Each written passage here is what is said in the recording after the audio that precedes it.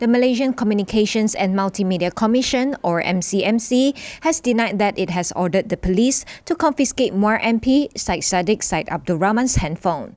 Pihak polis atas arahan SKMM telah pun uh, merampas uh, telefon saya, akaun saya dan um, saya telah pun memberikan bantuan sepenuhnya, saya serahkan On Sunday, MCMC said it only acted as a technical agency in assisting police investigation and it will continue to provide assistance without any hidden agenda. On Saturday, Syed Saddiq was called up by the police to give his statement at the Dang Wangi District Police Headquarters over a video he posted regarding the death of a detainee. MCMC also denied creating a special unit in the Commission for political purposes, political intrusion, campaign sabotage, and others as claimed by Syed Saddiq. MCMC said it is inviting Syed Saddiq to be present at the Commission to clear the air.